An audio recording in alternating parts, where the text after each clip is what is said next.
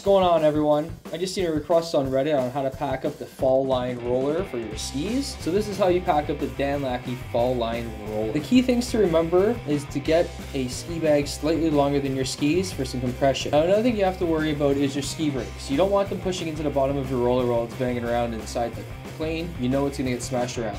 I recommend taking some shoelace and tying two little loops like this and then you can tie them around your brakes and strap them up to the back of your binding just like this. That'll hold it fine. I use this at home all the time. It's perfect, it's cheap. Next I cover over the skis with some towels that I use to dry them off. I use my snow pants to cover over the tip of my skis and then I roll up the top of my snow pants into the top of the fall line roller bag so that if any top hit compressions happen, it will protect my skis, just like so. Fall line roller also comes boot bag. I prefer to use this bag when I'm underweight because it holds in my skis pretty well.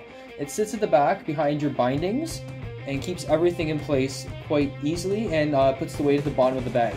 Next, I put my poles in the middle of the bag, and that holds some structural rigidity, and it kind of acts like a spine for the skis. All of my gear goes into the backpack I use where I ski, and then I put all of my goggles inside my helmet for protection. The helmet sits right in front of my bindings, right below my gear bag. Next, I take all of my clothes, and I roll them up, and I stick them inside bags that buffer between my helmet and my boots, and all of my gear. This is also a top cushion for everything. Once it's all zipped up, I still use an external combination strap and I have about five different identifying tags inside the luggage. And that's about it to pack up the Dakine Fall Line roller.